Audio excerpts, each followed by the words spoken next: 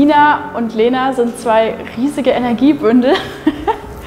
ähm, und ich hatte, ich hatte eine Stilberatung, ich hatte Farbberatung, Typberatung. Ich war mit Nina shoppen, ich habe Brillen gekauft und Kleider gekauft und ich habe keine einzige Minute bereut, die ich mit der Nina verbracht habe. Und ich bin so dankbar, so glücklich über die neuen Sachen, die ich habe und kann es einfach nur jedem weiterempfehlen.